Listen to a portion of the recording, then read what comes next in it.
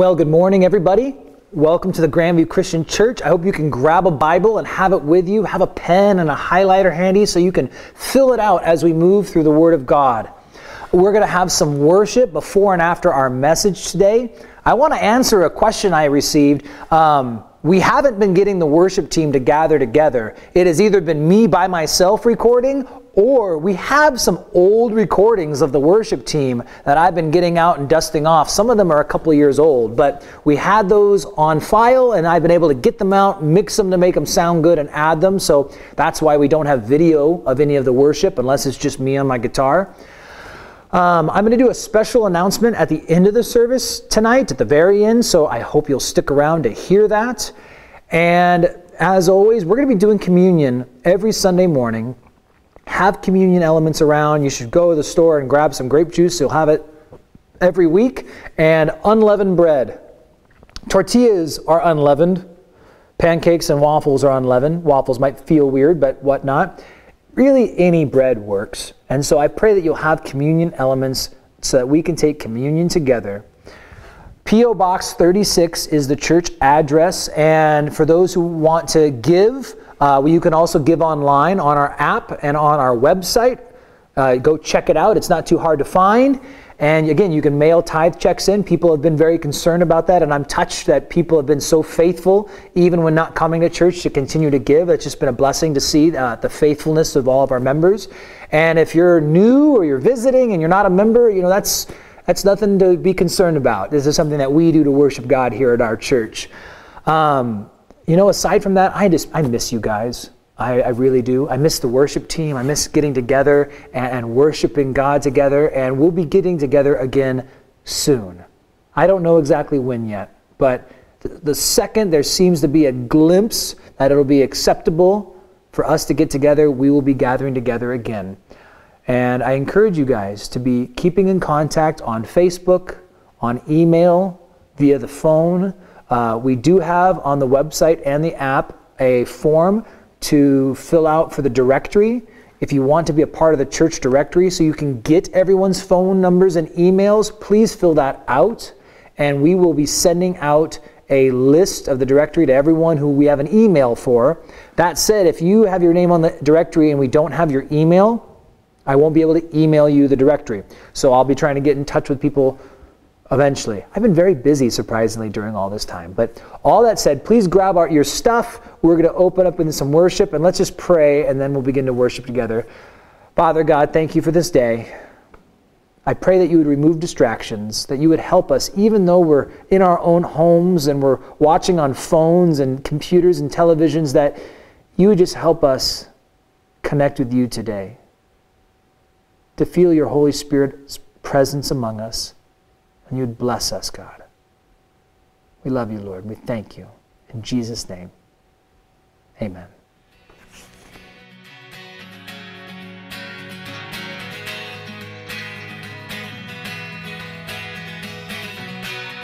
Blessed be your name in the land that is plentiful, where the streams of abundance flow. Blessed be your name.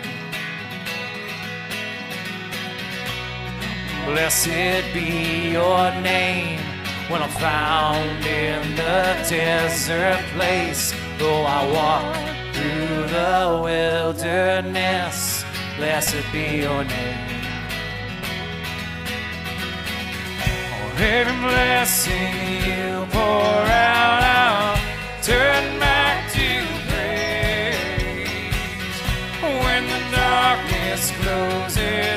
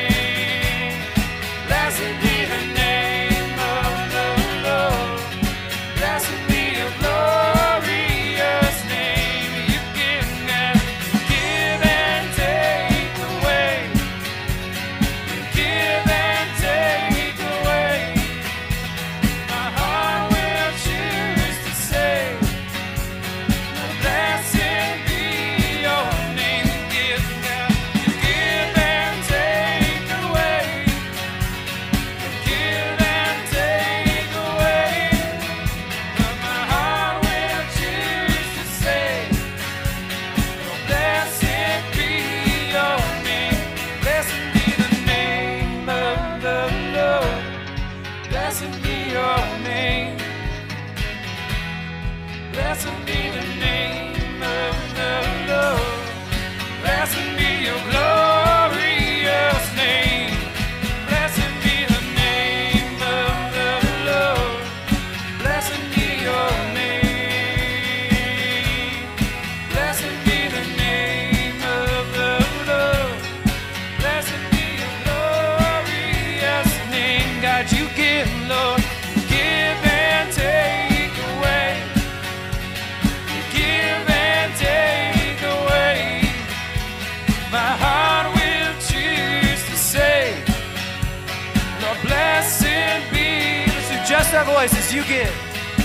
give and take away. God, you give and take away. But my heart will choose to say, Lord, blessed be your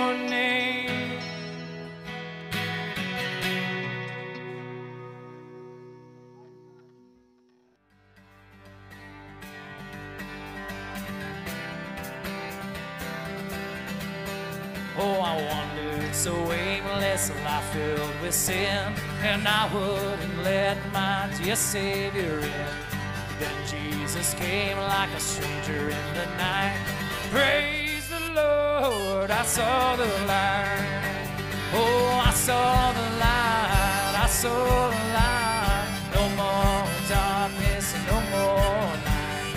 Now I'm so happy, no sorrow the Saw the light. Oh, just like a blind man, wandered alone. Worries and fears, I my own.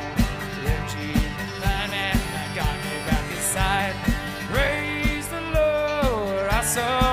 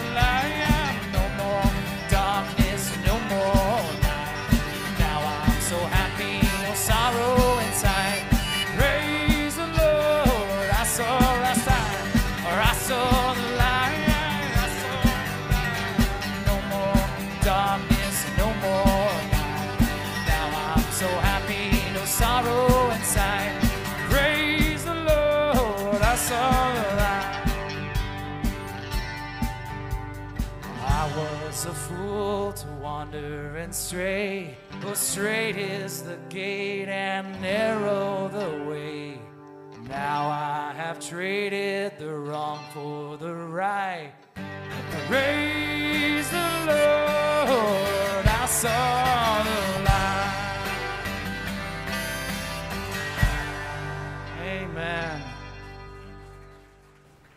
Well, good morning again. And if you are a guest today, you're going to experience something very unusual for our church.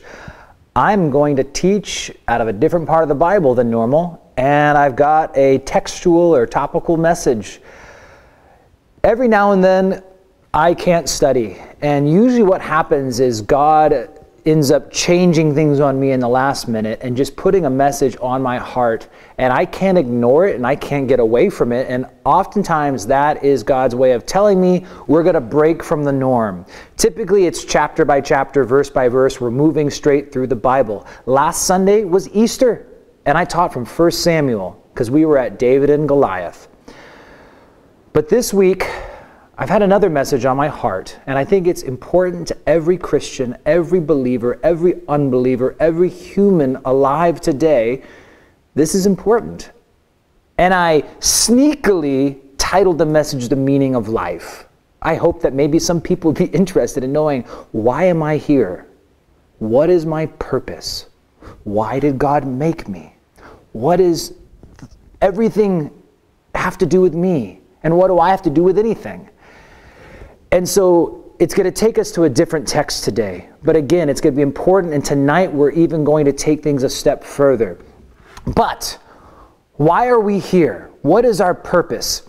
There is this thing that many of you, I'm sure, who grew up in the church may be familiar with. Uh, they were called catechisms. So, uh, a statement of faith, which most of us are familiar with, or even like a mission statement, those are statements of what we believe. A catechism was also a statement of what people believed, but it was written in the form of question and answer. Here's a question, and here's the response. And this question, why am I here? What's the purpose of everything? Why did God make me? Well, we could look to a very popular catechism, the Westminster Shorter Catechism, and the very first part, which I believe a few of you today probably could answer this question What is the chief purpose for which man is made? The answer in the Catechism is the chief purpose for which man is made is to glorify God and to enjoy Him forever. Why did God make you? Well, He made you to glorify Him and enjoy Him forever. I had a friend and a fellow scholar and theologian, and by fellow I mean he is and I'm not, but he's a smart dude. And he said, You know, sometimes I've, I've struggled with the glorify God part. I always feel like the chief purpose God made me was for him to love me and me to love him. And he feels like the second part was more important, the enjoy him forever. But I told him, you know what? And I know he's called to a teaching ministry just like I am. And I'll tell you what, folks. John, fourth John, or sorry, third John. There's no fourth John. That'd be Revelation. Uh, third John, it says, I have no greater joy than to know my children walk in truth. Now, any believer can enjoy that verse, can respect that verse, but I, I believe that verse, and I, I, I feel that verse. That verse has grown on me over these last few years with such passion that I have no greater joy in this life than to see my children, those whom God has brought into my fold, into my church, and the churches of Grandview and the whole lower valley, any Christian I've been put in contact with, it brings me so much joy to see them walk in truth, to see them growing in Christ, to see them getting out of sin and, getting closer to Him and being filled with His Spirit. Truly, this joy, it does. It, it surpasses my wife, it surpasses my children. You see, it's, it's why God made me. He made me to glorify Him and to enjoy Him forever. And when I glorify Him by fulfilling the specific thing He gifted me for, I experience joy in this earth that's insurpassable. When you can find out why God made you, you can experience that joy too. And so this morning we're looking at part one of that. Now, in the Westminster Catechism, they do give a list of verses. You see, we're made to glorify God. 1 Corinthians 6.20 says, For you were bought at a price. Therefore, glorify God in your body and in your spirit, which are God's. In 1 Corinthians uh, chapter 12, it talks about us giving our whole lives as living sacrifices, and it's our reasonable service to do so. 1 Corinthians 10:31 says therefore whatever you eat or drink and whatever you do do all to the glory of God. And one day we will be in heaven and we will see the angels in heaven, to which John writes in Revelation 4:11, "You are worthy, O Lord, to receive glory and honor and power, for you created all things and by your will they existed and were created." See, that's the idea. He made everything, and so he deserves glory and honor and praise. It might seem really simple, or I don't know, but think of it this way. How many of you have told your children, because I told you so? And guess what? If you're their mom, if you're the dad, You can say that because you made them. Children are called to honor their parents regardless. We don't need to obey our earthly parents if they call us to do ungodly and sinful things, but we honor our parents, and the because I told you so is a legitimate reason for a parent to tell a child their reasoning because you made them, and God made us, and He made the animals, the birds in the air, and the fish in the sea. He made the stars, He made the moon, He made the mountains, the oceans, the grass, and the grain of sand. And so he deserves glory just because. But at the same time, he blesses us and he fills us with joy, and we get to enjoy him. Psalm 144 15 says, Happy are the people whose God is Yahweh, whose God is the Lord.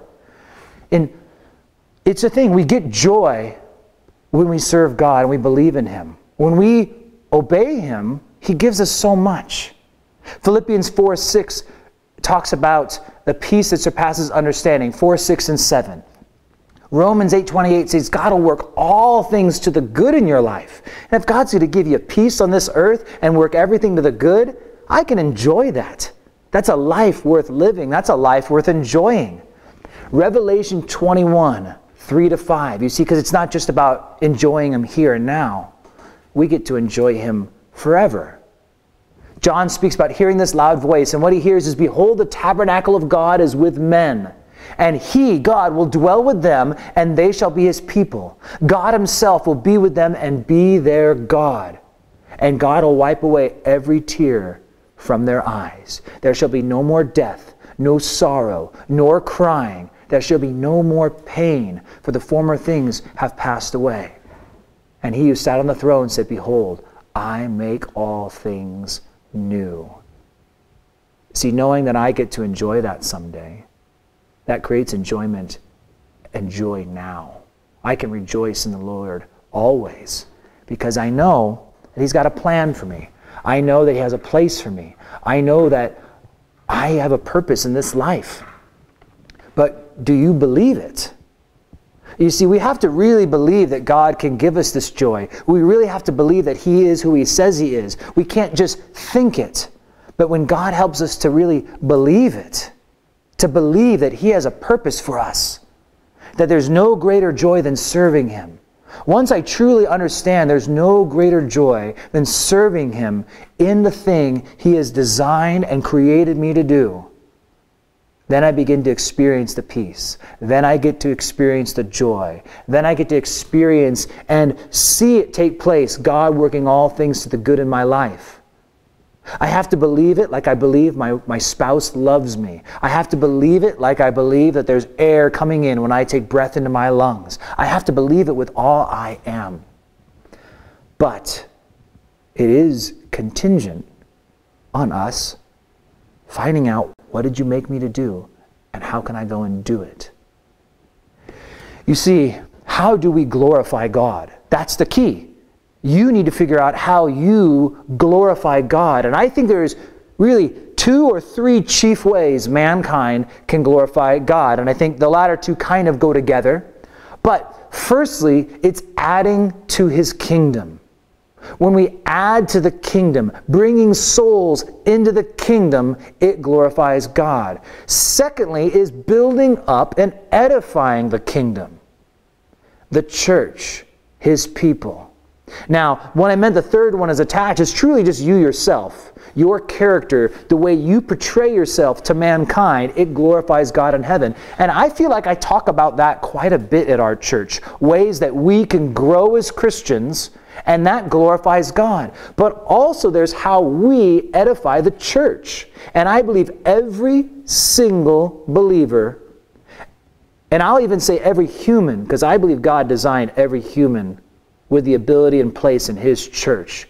If they accept Jesus Christ, they would have a place there. They would have a purpose there. They would have a life of fulfillment there. Not every human comes to repentance, sadly, though it is God's desire that none should perish, but all come to repentance, he tells us.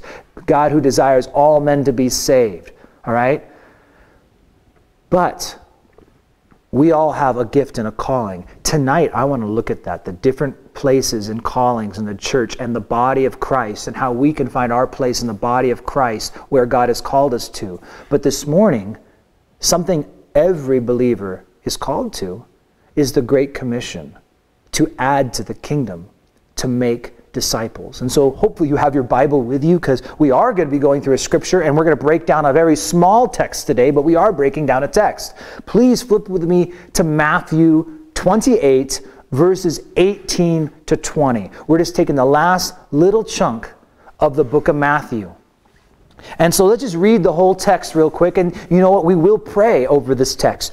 In verse 18, it says, Jesus came and spoke to them, saying, All authority has been given to me in heaven and on earth.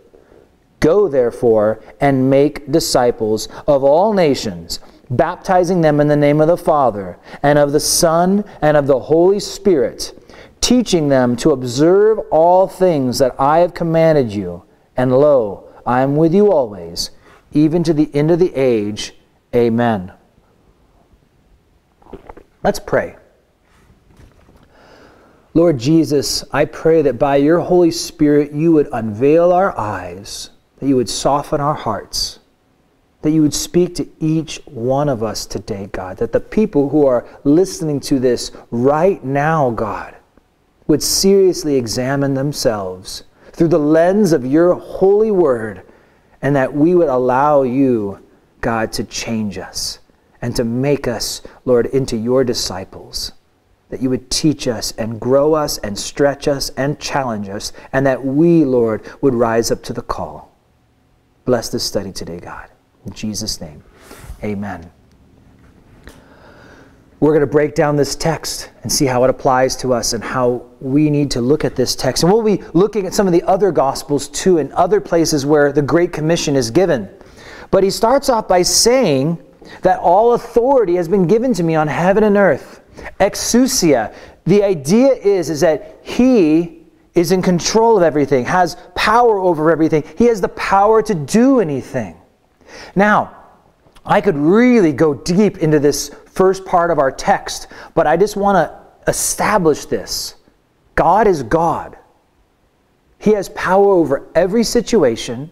He has power and control over the winds and the rains, over cancer, over sickness, over the coronavirus, and everything else that faces our lives. Every obstacle, He holds the atoms together and could let them loose at any moment. He has total authority. And that is something that's critical as we move through this text to remember that and to believe it. But we see in verse 19, it says, Go therefore. Or you could say, therefore go. The idea is, is whenever you see the therefore, you got to ask, what is it there for? Well, remember, it's the God with all authority who is sending you. All right? The God of all authority is sending you to preach the gospel. In Mark 16 15, he says almost the same thing go into all the world and preach the gospel to every creature. That's what God is calling us to do. And by us, I mean me and you, us, all of us. We're all called to one level or another to preach the gospel. Well, who am I? Oh, why would they would never listen to me? I'm not a pastor. You're a pastor, Joe. You're, you're a preacher. I'm just a nobody. Well, that's the thing is that I'm a nobody too. We're all a bunch of nobodies. In fact, I don't care who you are, and no one really cares who I am. At the end of the day, who we are doesn't matter. What matters is who am I speaking on behalf of? Whose authority am I speaking on behalf of? You see in 2 Corinthians 5:20, Paul says, Now then, we are ambassadors. An ambassador is someone who represents the king or the president or the nation. We are ambassadors for Christ. And as though God were pleading through us, we implore you on Christ's behalf be reconciled to God. That's all we have to do. We, little nobodies, have to speak on the authority of God. You see, if a man just stopped me on the side of the road and just said, Hey, I want you to get out of your car and have a talk with me, that'd be weird. Uh, it'd be kind of unnerving. I'd be nervous. What, what is this crazy man doing? And I probably wouldn't listen to him. I definitely would not want my wife or my children, my teenage daughter. I would no. If that ever happens, honey, you roll the window up and you go. But if the same man was wearing a uniform and had a badge, he's the exact same man. But now I understand he's not speaking on his own authority. He's speaking on the authority of the law. He's speaking on the authority of the police. And that person, I would tell my daughter, no, honey, you do what he says. You respect him and you listen. And that's the power you have. When you speak on behalf of God, it doesn't matter who you are. It's not about your authority, it's about his authority. And Jesus Christ, who is giving the Great Commission, has been given all authority. Every authority of every power and principality and heavenly thing on earth is his authority. We have the authority to speak these things, to preach the gospel. What is it? I'm not a good preacher. You know what? If you're saved, you know the message. If you don't know the message, I'd be worried about your salvation. In Luke 24, 46 to 48, he basically explains what needs to be preached. He says, All right, thus it is written, and thus it was necessary for Christ to suffer and rise from the dead on the third day. We know Jesus died for us and he was resurrected, and that repentance and the remissions of sin should be preached to all nations. So that's the idea is that we just need to explain to people the most simple of things. I don't know much, but I know Jesus died for me. He rose for me and that I need to repent and turn from my sins, but in doing so, I receive the remission, the forgiveness and washing away of my sins. I can tell that to anybody. And as ambassadors for Christ, I can be as if God Himself is the one speaking, but He's pleading through me. Be reconciled to God. We're begging you, be reconciled to God.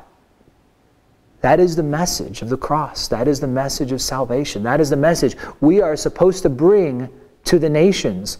Now, I found all these one liners that over the years I've heard them again and again. I don't even know who to attribute them to because I've heard them from so many different pastors, but maybe one of these will just hit home with you, right? The church is always one generation away from extinction. I've seen churches get old because there was no new life being brought into them. The whole church is always one generation from extinction. If new believers are not being born again into the body of Christ, she will become extinct. And that's the idea of being born again. Another one liner is that God has no grandchildren, He only has blood bought and born again children. You were born again into His family. Your kids are not guaranteed in unless they're born again into his family. That's the way it works. We need to continue to see people getting born again. The churches of Grandview and Prosser and Sunnyside, the whole lower valley, we need to see people getting born again and not just church hopping. I don't want church growth just from people shifting from one place to another. We want to see unbelievers coming to repentance. And so it's been said that you are either a missionary or you are the mission field. There's only two. Which are you? If you have submitted your life to Jesus, you are a missionary because you're sent out with the gospel. Or you're the mission field. I would challenge you to say, if I tell you today you're a missionary and you tell me no, I'm not, then you're probably the mission field.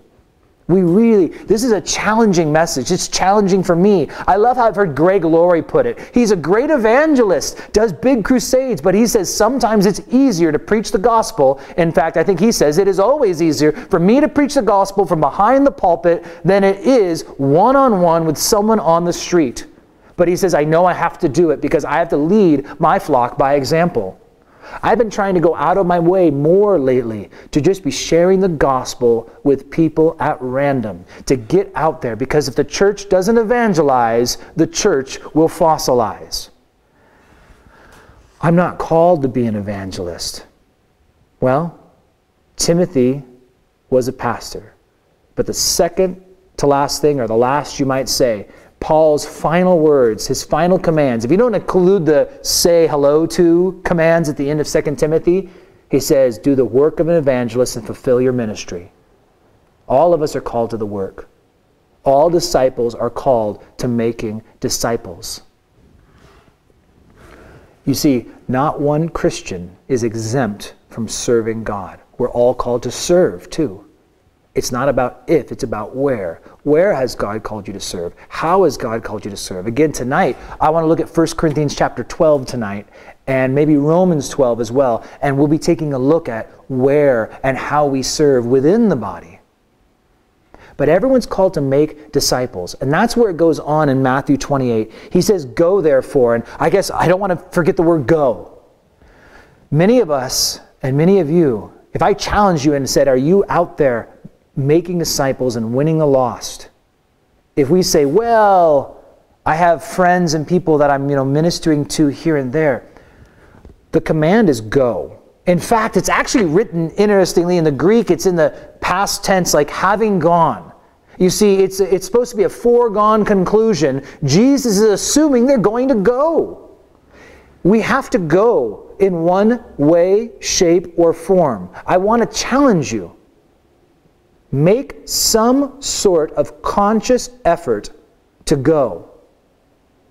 I may say, Have you ever shared Jesus with someone recently? You might say yes, but I go, Have you set aside any time of your life in the last month to actively pursue someone to share the gospel with them? Many people have told me, I used to do some door to door. I'm not called a door to door. Yeah, you're probably not called a door to door, but imagine if everyone, every Christian of Grandview, every Christian in the town you live in, went out and knocked on three doors and just tried to tell people that Jesus loves them and he died for them and they need to repent. Yeah, you might not be called to it. You might fumble through it. But what the power would be if the church mobilized and started to share the gospel and started to get out there and let people know.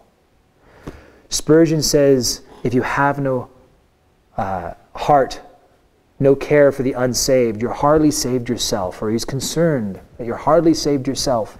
To imagine that I wouldn't care if people are saved or lost. I often pray that God would continue to open my eyes and make me see people as dead men walking. But this actually isn't a message on evangelism. You see, evangelism is actually something the church does okay at. It does okay. But I think what we're poorer at is making disciples. You see, he says, make disciples.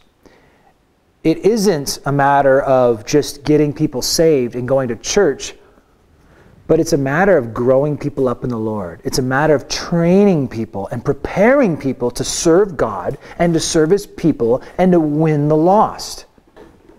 How do we do that? He says we need to make disciples of all nations baptizing them in the name of the Father, the Son, and the Holy Spirit. Here's a bonus teaching for you. That is a key word, it'll come up in a second. The name of the Father, Son, and the Holy Spirit. You know, it's only singular name. It's not the names of the Father and the names of the Son. It's one, one God, who is the Father, who is the Son, and who is the Holy Spirit. Three persons, one God. Little Trinitarian uh, teaching for you of how to understand the Trinity. But we're supposed to baptize people. Why? Because if you preach the gospel, the next thing the person should do is make it public. I was tempted to say there are no closet Christians. That's not true, but there shouldn't be.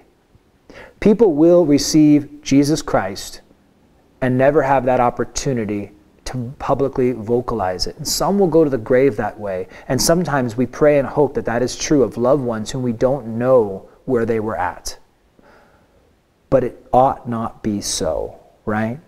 No one should die a closet Christian. The first thing you should do is you make it public. And there's something powerful about a testimony. There's something powerful about a new believer sharing their newfound faith. And baptism is the way we show the world that we have had our sins washed away and the old me has died and the new me has been born again. Now, how do we make disciples? Well, it's simple. It's in chapter 28, verse 20, the next verse. Teaching them to observe all the things I commanded you. What should you be trying to learn if you want to be disciple? Everything. Learn it all. Oh, but I'm not a I'm not a studious person, or I'm not you know one of those brainy Christians. I'm, I'm just going to tell you that there are no such thing as uh, illiterate or illiterate Christians or disciples. I'm sorry, disciples, not Christians. You see, disciples, we, we, we have to learn the Word of God. We have to study. In Luke 24 27, you see, he told them to teach them these things. Well, what things? Well, on the road to Emmaus, he had the two disciples there with him, and he says in verse 27, or it says, beginning at Moses and the prophets, he expounded to them all the scriptures and things concerning himself. That's the idea. We have to be learning the Word of God and teaching it to new people so that they themselves can become disciples. I think every Christian needs to be being discipled and discipling. And I think you, right now, should be able to say, Whom am I being discipled by? And whom am I discipling? And if you can't, you should really take some time to think about that and make a decision. Now, right off the bat, I'm going to tell you what I don't count as the one discipling you if Sunday mornings is all you get. Sunday mornings, Sunday nights, you're doing better. But truthfully, you need someone to have one on one conversation with, to be bouncing things off of, to be challenging you, to be examining your walk in your life. Someone who will be there and be a brother or a sister who's really going to push you and challenge you and grow you. Now, there are some of you in the church who might be able to say that about me. We have enough one on one contact. And I'm only one man, and I, I can't be the discipler of an entire church body. It's going to take everyone to do this. If you're a more mature believer, you should be picking out some people or praying that God would bring them to you that you could be pouring into. Yet again, if you're a really mature believer, you're not excused from this. I have people who are discipling me still. Yes, some is books, some is audio sermons. But I have a, a, brother, I have Aaron Bloom, who will be pushing me. He is a brother who just, he pushes me and he keeps me accountable. I have pastors who are senior to me. They have experience like Dallas Sandoval or Steve Winery or Tony Magana and these men whom I'm going to for counsel and direction and guidance. I'm still being discipled and I'm discipling. And maybe you're a, a newer believer. Maybe you feel like you don't know anything. How could I disciple someone? Well, guess what? Make a disciple. If you're saved, then you should know the message we just expressed. Jesus died on the cross and he rose again so that I have the ability to repent and have remission of sins. Teach that to someone. And then you teach them everything you know. We can only raise up disciples as strong and as knowledgeable as we are. So you should have someone you're pouring into. You should have someone pouring into you. If we started this process we would see so much growth and so much benefit in the church body. And I mean the capital C, us reaching out to people. I have people who come to me sometimes from other churches. I don't ever intend them to join our church or to become a part of our fellowship, but I want to see them poured into by someone, and I'm willing to do it. I'll pour into anyone who seeks it. You see, in the early church, this is what the disciples did. It says when the, the 3,000 got saved on the day of Pentecost, right? It says that they all, these people, not the apostles, but just the regular people who had just gotten saved, they continued steadfastly in the apostles' doctrine, in fellowship, in the breaking of bread, and in prayers. Now, where could we do something like that? Home? A home fellowship? You and just a couple of families from the church, you and one family from the church, making it a regular thing in your life that you get together with them. You go through the apostles' doctrine. That's just the Word of God. The apostles wrote the New Testament, right? We get together we talk about the Word. Break bread. Whether you take that as communion or just having a meal, both would be worthwhile to do. And you fellowship while you're together and you pray. How simple is the disciple making process? It just takes us deciding that I am going to go and do these things. And when I do these things, when two or more are gathered, Jesus says, I'll be there among you. I'll be with you. That's how he finishes off the chapter. And lo, I'm with you always, even to the end of the age. That's the idea is Christ is with us and he will be with us and he'll support us through all these things. A cool story is G. Campbell Morgan was teaching this little study to a, a few elderly women from his church when he was a young preacher. And he got to the end of the book and he says, Isn't that a wonderful promise? And one of the ladies looked at him and said, Young man, that's not a promise, that's a fact. You know, most of the promises of the Bible are conditional. If we, then God will. This isn't a promise, it's, it's a fact. Christ is with us. He's always with us. He never forsakes us. He's always there when we call on Him. You see, not only is He with us, just you know, the thought, but He's given us His Holy Spirit. Most of the places we see the promises of the Great Commission, we also see the promise of the sending of the Holy Spirit. In Luke 24, he said, Behold, I send the promise of my Father upon you. He tells them to tarry in Jerusalem until you're endued with power from on high. That for them to succeed in all this, they need the Holy Spirit. Acts 1 8 pretty much says the same thing. But you shall receive power when the Holy Spirit has come upon you, and you shall be witnesses. That's the idea. He's with us, His Holy Spirit's inside of us, giving us power. We speak on His authority. We have everything we need to be disciples and to make disciples.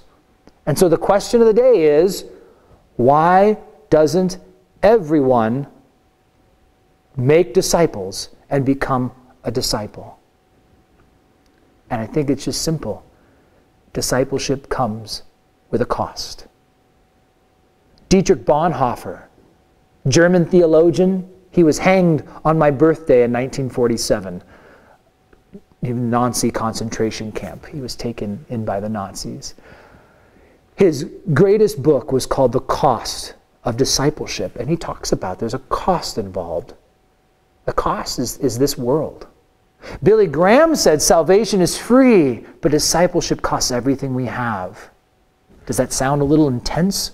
Well, maybe we should just quote Jesus instead.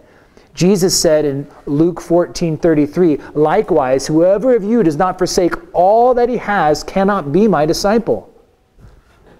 Forsake all that I have. It seems so extreme, it seems so intense, but Jesus says in Matthew 16 25, For whoever desires to save his life will lose it, but whoever loses his life for my sake will find it.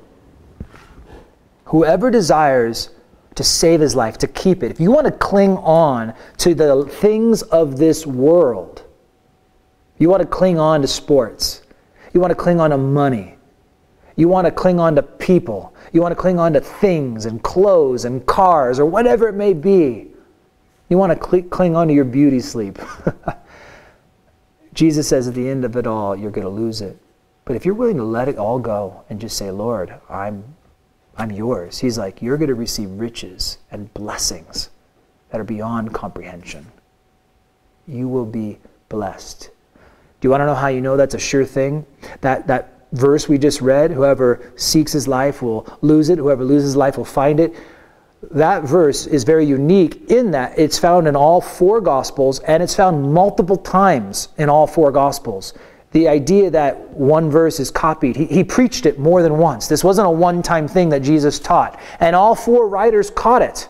There's actually very few quotes of Jesus that are found in all four Gospels.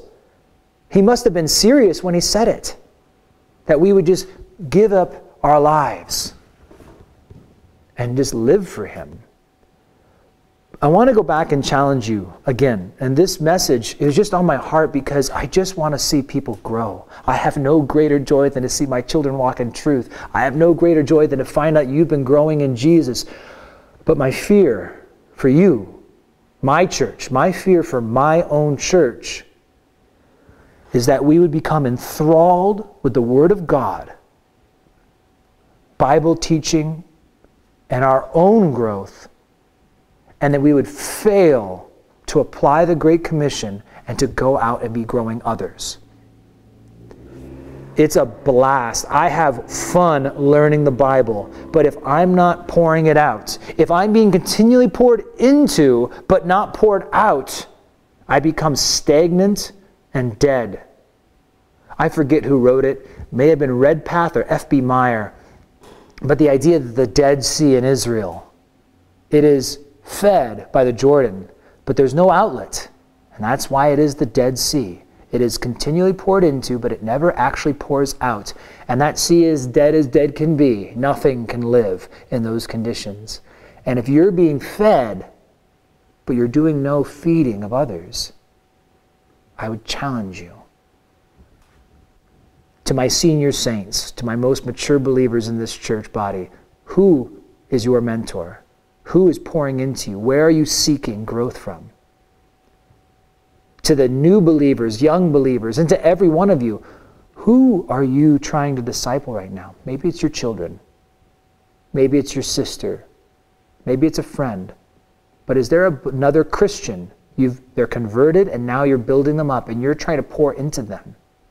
You see, I think if we just generalize this and just think, well, I'm always helping people, it's easy to lose track of saying, no, I've got three people and I'm going to hold them accountable. I'm going to be reaching out to them and I'm going to build them up strong enough that they can go out and repeat the process. I want to close with a verse, or not a verse, a quotation. And um, I'm going to make a special announcement at the end of our service today, at the end of worship and whatnot. So I hope you'll hang around to hear that. But Warren Wiersbe says this How much faster our churches would grow, and how much stronger and happier our church members would be if each one were discipling another believer. The only way the local church can be fruitful and multiply, not just add, is with a systematic discipleship program. This is the responsibility of every believer and not just a small group who have been called to go. And so I would challenge you. Jesus says, Go and make disciples. It is something we all need to be doing. And I want to wrap this back to the very beginning. What is the meaning of life? Well, it's to glorify God and to enjoy Him. You will glorify God by obeying the Great Commission. And I believe if you've never committed to obeying the Great Commission and you start to, you are going to find an enjoyment in this life that you've never experienced before. Seeing lost sinners come to repentance, seeing the dead brought to life, seeing people grow, you teaching them the Bible. 2 Timothy 2 4 says, All who desire to be servants must be able to teach.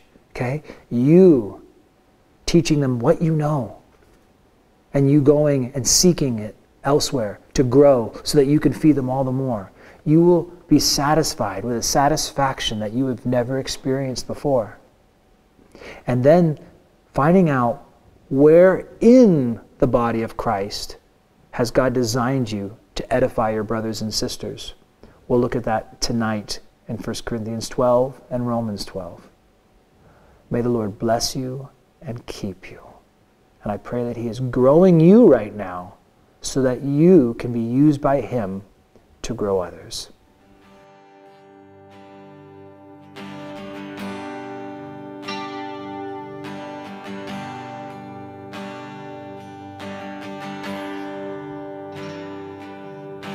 Lord Jesus, we will follow you because we love you. And we know, God, that when we seek your face in spirit and truth, that you come, that you hear, and that you answer us. when we lay our lives before you, Lord, you never refuse us. We ask, God, that you would do it again in our hearts. Walking around these walls, I thought by now they'd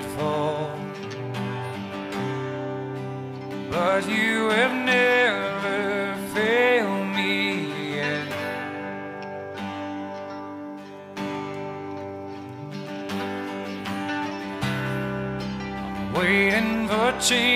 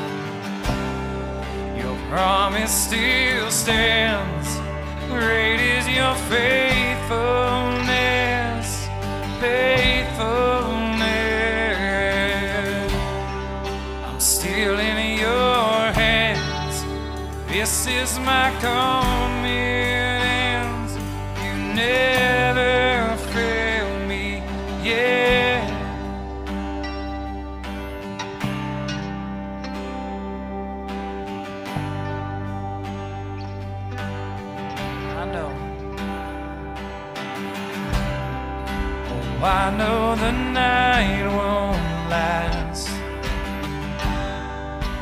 Your word will come to pass. My heart will sing your praise again.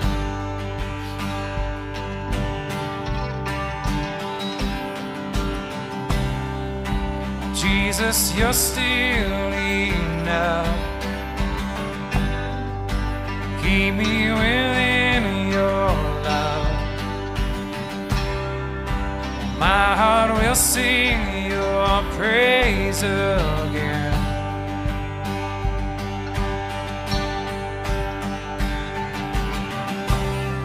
Your promise still stands.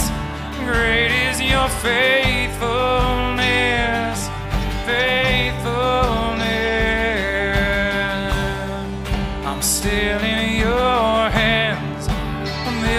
my confidence.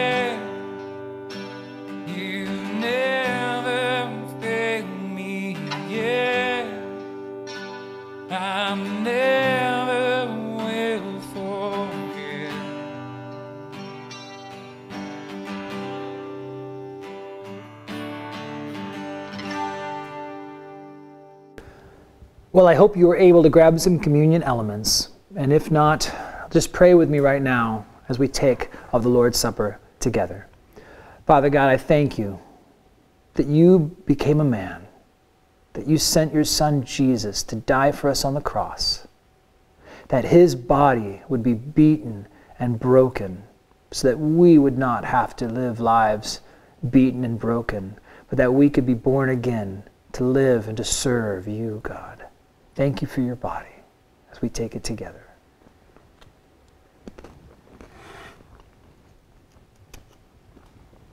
And to pray for the cup.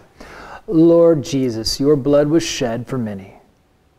I pray, Lord, that we all, God, would continue to share that news that your blood was shed so that many could be brought to repentance, God.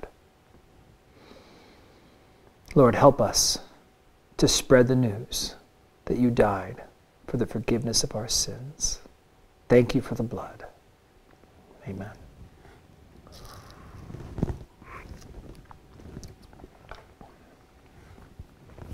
Well, we'll continue to worship, and then uh, I'll close us at the end of today's service.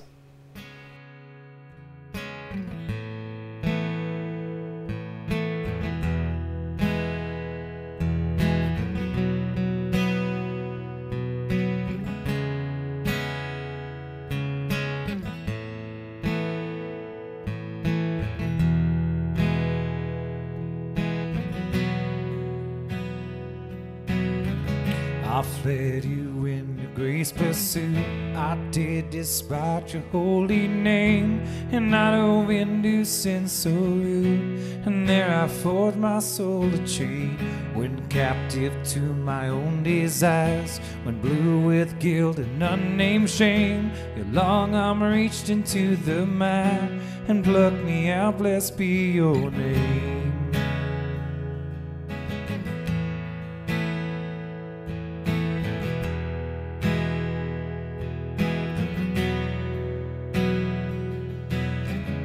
Can I leave others in their woe? Can I ignore their cries who sink?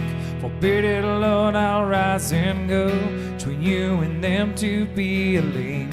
Unwearied, may I lift the load of those who struggle, needs and spell. Stab my poor heart with love's strong gold to battle powers of earth and hell. I'll rise and go. Help me to. Break my heart and bring me to my knees. I'll rise and go. Give me your heart. Cause this whole world, oh, it's falling apart.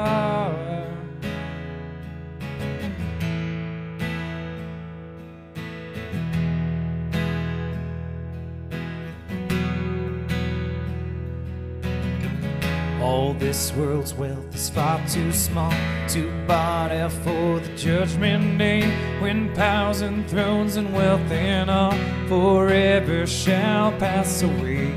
Oh, day of days when I shall be standing before ten million eyes. Oh, may my Savior say to me, Well done is my eternal prize. I'll arise and go. Help me see Jesus break my heart and bring me to my knees. I'll arise and go. Give me your heart, cause this old world, oh, it's falling apart. I'll rise and go. Help me to see break my heart and bring me to my rise and go. Give me your heart, cause this old world, oh, it's falling apart.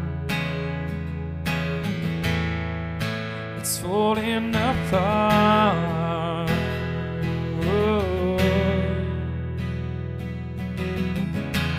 And on that day when I shall stand before your great of sea, tell me, my Lord, to understand? That out in the will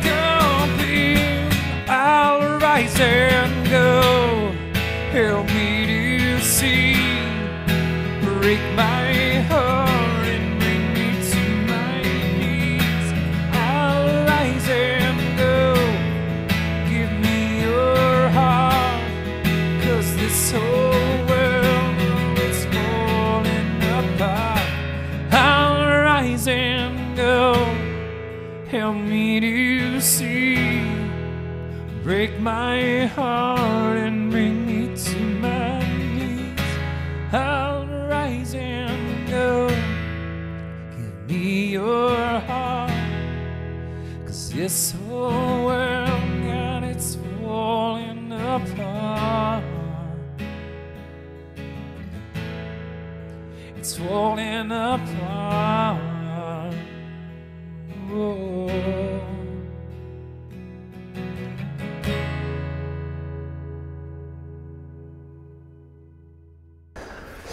All right, well, that concludes our service for today. And like I said earlier, I had one final announcement. I just wanted to save it to the end because I mentioned in today's message that I, I shouldn't count necessarily to be the discipler of many of you, that I, I think people need more than just Sunday services. Coming and getting a sermon is edifying for all but it's not enough to be called discipleship. We need one on one, we need conversation, we need iron sharpening iron.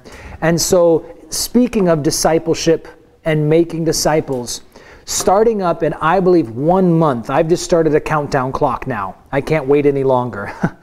in one month, I'm going to start hosting a discipleship class at my house assuming we can fit everyone in my house. I fit like 30 people in there, in my living room before, so we should be okay. But we're going to start a discipleship class or a school of ministry class, really. My goal is to move a group of people in one year through a series of courses that I believe would make a very well rounded disciple who is fully capable to then go and make disciples. Those disciples who Jesus says, Go and make disciples, they had been under his teaching for three years. And so during this time, we will have some homework. I'm going to hopefully provide some books for people to read, but we're also going to be moving through a series of videos and having conversations. Anyone is invited to come. And you don't necessarily have to be signed on for the full package deal if you just want to come for a portion of it. And friends are invited to bring friends and all of that. But for a group of you, I hope you'd make a commitment that you would be willing to arrange your schedules and prioritize this, that you could receive some real serious training, that you could become equipped to spread the gospel and to make disciples of your own. And so, my intent is for us to be taking courses in theology, so learning just the basics of what we believe, but having some good discussions so that we feel like we thoroughly understand these things.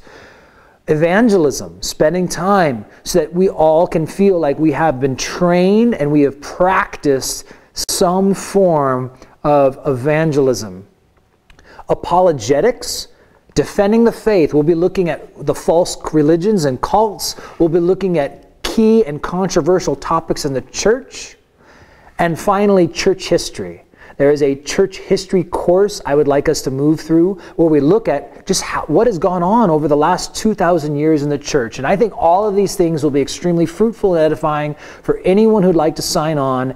Um, I probably should come up with some sort of a, a form or interesting.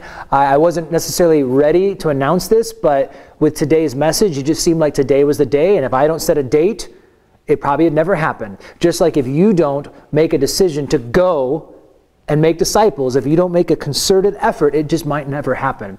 And so we're going to start that course up. I believe it'll be on Thursday nights but it might be another night of the week. Once we get a group of people who are solidly interested and the ones who perhaps want to really commit to doing the homework, we'll have sermons to listen to during the week and whatnot. Uh, we'll find out a day that works for everybody. God bless you guys. I love you guys. I miss you guys. And I pray that you are using this time for God to grow you and strengthen you.